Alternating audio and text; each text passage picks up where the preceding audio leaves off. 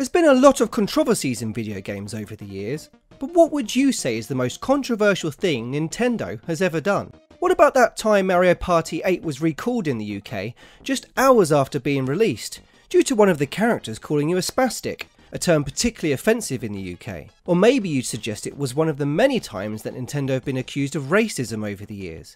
And there was that funny incident when Nintendo of America tweeted out hashtag Wigger Wednesday. Maybe that's why they hate Waluigi. Well, what if I was to tell you there was something you could play on one of Nintendo's own machines, which included their mascot, smoking, murder, and sex thrown in there too? Surely that sort of thing doesn't exist on a Nintendo console, right? Downloadable content is the norm nowadays. In an instant, you can download games, updates, and check out trailers for all manner of upcoming titles. But in the mid 90s, the internet was quite a bit different, and it was a bit crap in comparison, to be honest. What's a web page? Something ducks walk on?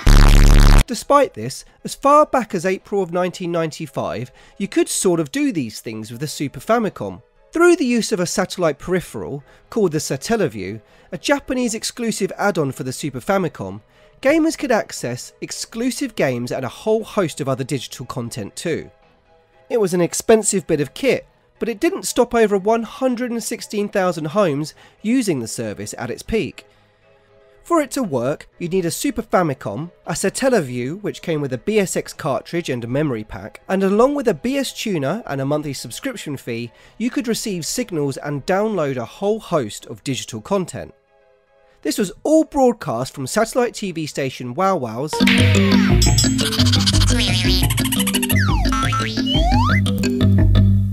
WOWOW. satellite radio subsidiary St. Giga. Now, you couldn't download stuff whenever you wanted, you'd have to keep an eye on the time, wait until the signal was broadcast, and then you could download content during the limited time it was available. Also, as this was done through the use of a memory pack, games could be overwritten.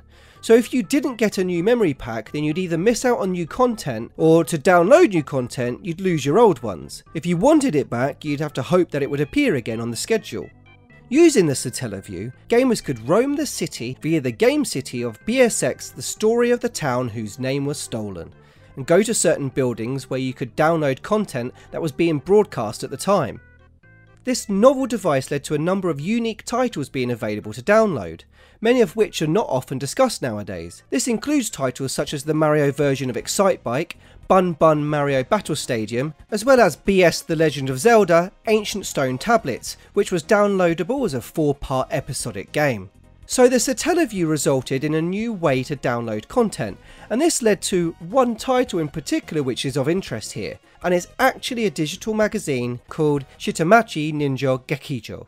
Also known as Lower City Empathy Theatre, and even more commonly known as Lily Franky Theatre, the digital magazine started in November of 1995 and showcased Mario and a supporting cast of iconic Nintendo characters involved in all number of controversial acts and inappropriate imagery. Well, it's not often you see Toad giving oral sex to Princess Peach on an officially licensed Nintendo product, even if it is acted out by plush toys. This rather bizarre title featured Mario and Toad being in jail for some undisclosed reason and are due to be imprisoned for 20 years. Toad is obviously quite upset by this, until Mario surprises Toad by pulling a spoon out of his butthole. Yes, I just said that. So Mario pulls the uncomfortable hunk of metal out of his arse in order to dig their way out of prison, although it turns out it didn't work and he suggests Toad uses his hands to dig his way out instead. Yes, this was actually available on an officially licensed Nintendo product. In the following episode, just as Toad can barely cope any longer, Mario pulls a drill out of his ballsack. Yes. Thanks to this drill, Mario and Toad are able to tunnel their way to freedom, escaping to Rio, in Brazil of all places. Another episode sees Mario and Toad meet Bill Gates, who proceeds to try and convince Mario and Toad about the wonders of Windows 1995, before putting it on his head for some reason. It's this episode that was particularly disturbing though.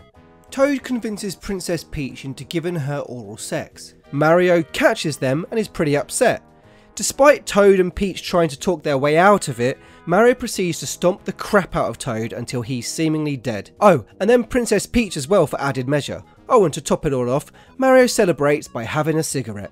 Screenshots for these episodes are available online, but the actual ROM isn't. In fact, the only person that appears to have had the ROM last posted in 2008 and seemingly hasn't been heard from since. That hasn't stopped some keen preservationists from attempting to recreate the ROM though. The fact that this was ever playable on an officially licensed Nintendo product is pretty shocking. And if you're thinking this is all fake and an ill-timed April Fool, well, you'd actually be incorrect. Famitsu magazine have also documented the title, and it appears as though it was created by some of the radio hosts on St. Giga. Well, you weren't exactly expecting this to have been a Miyamoto game, was you? I'm not sure how much Nintendo are aware of it, but if they are, it's not surprising they'd rather pretend it doesn't exist. But thanks to the internet, we can all know about this rare oddity. Maybe the ROM will pop up one day, but it does make me think about all the unique games and digital content that has likely been lost over the years. If there's anything you're aware of that doesn't get talked about much, please do leave a comment. Now thanks for watching and leave me alone.